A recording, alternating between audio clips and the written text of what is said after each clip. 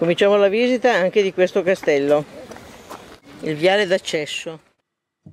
Costruendo il castello di Chenonceau sul fiume Cher nel XVI secolo, Thomas Bouet e sua moglie Catherine Briconnet demoliscono la fortezza e il mulino fortificato dalla famiglia dei Marques, conservando esclusivamente il maschio, la torre dei Marques, che trasformano in secondo il gusto rinascimentale.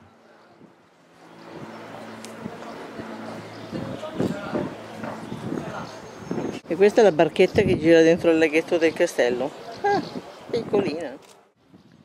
Il castello di Chenonceau è definito il castello delle donne per i vari personaggi femminili che nel, negli anni lo hanno abitato. Nel 1547 il re Enrico II offre Chenonceau alla sua favorita, Diana di Poitiers, dama che allea bellezza, intelligenza e un ottimo senso degli affari. I giardini creati da Diana intorno al castello sono tra i più spettacolari e moderni del suo tempo.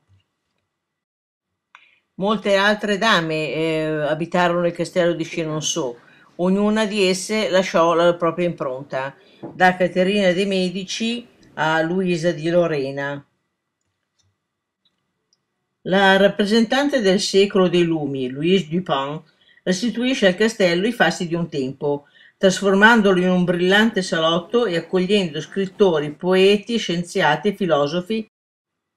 Altra donna che abiterà il castello di Chenonceau è Marguerite Pelouse, appartenente alla borghesia industriale, decide nel 1864 di fare del castello e del suo parco il teatro del suo gusto fastoso. Spenderà una fortuna per restaurarlo e restituirgli l'aspetto che l'edificio aveva in origine. Uno scandalo politico la porterà alla rovina. Per Chenonceau passerà di proprietario in proprietario fino al 1913. L'ultima in ordine di tempo è Simone Meigny, capo infermiera, amministra l'ospedale installato nelle due gallerie del castello, trasformate e attrezzate a spese della sua famiglia che è produttrice di cioccolato, fino al 1918. L'ospedale accoglie più di 2000 feriti. Il suo coraggio la porterà a compiere numerose operazioni di resistenza durante la Seconda Guerra Mondiale, dal 1939 al 1945. La camera di Luisa di Lorena. Che scura! Eh? Tutta nera.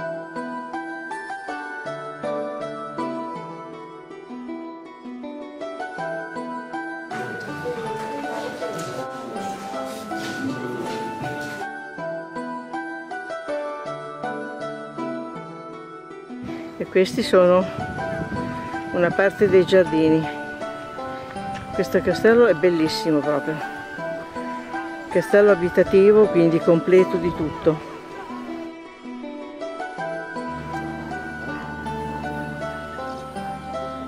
Avete fatto una foto con me po' più lontano